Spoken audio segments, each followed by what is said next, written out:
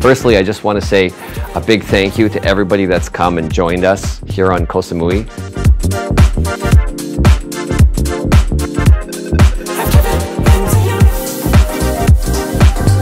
hobby who become the passion passion would become the work we begin all, all the story like management sport and after five years work we won a world title I've been smoking pretty much every day my whole life.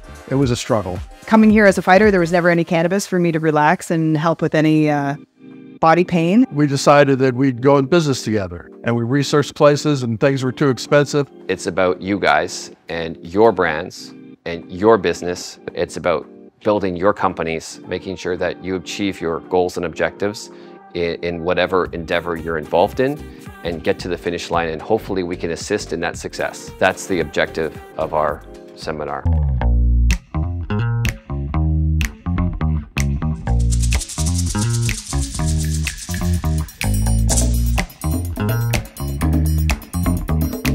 Vinzan Mastermind uh, session, the first one ever here in 2024. And we've been having some great discussions and meeting some great people.